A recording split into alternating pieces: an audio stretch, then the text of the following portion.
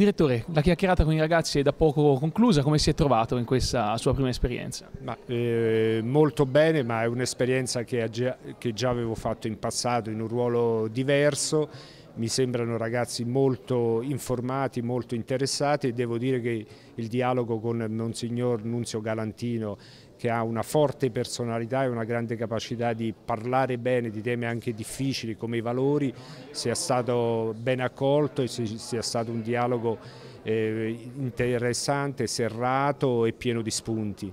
Il progetto quotidiano in classe, abbiamo sentito ieri attraverso la ricerca di Eurisco, prosegue a vele spiegate, tra l'altro raggiungendo sempre livelli eh, da record. Secondo lei qual è il segreto di questa iniziativa che non sembra fermarsi dopo 15 anni? Il segreto dell'iniziativa è aver portato l'informazione in classe, aver fatto riflettere i ragazzi sul valore di un'informazione di qualità.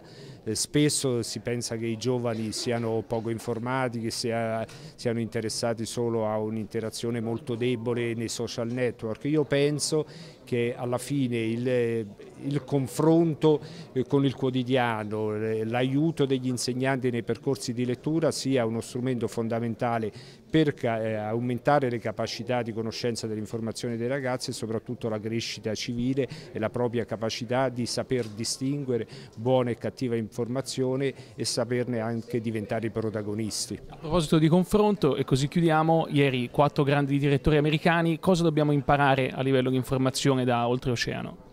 Ma dobbiamo imparare la capacità di mettersi in discussione, di saper eh, cercare strade nuove, di essere un po' esploratori, mai fermarsi alle certezze del passato mai rinchiudersi in un recinto di certezze che magari sono antiche, che forse ci fanno stare bene ma non servono più. Perfetto, grazie, buon proseguimento.